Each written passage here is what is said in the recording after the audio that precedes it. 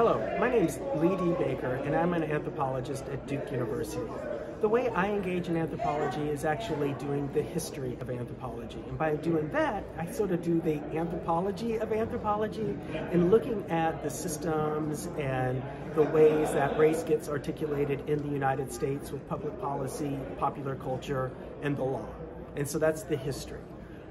But the way I really like to study and engage in anthropology is because it enables you to understand a complex world. It, understand, it enables you to understand complex people and complex systems.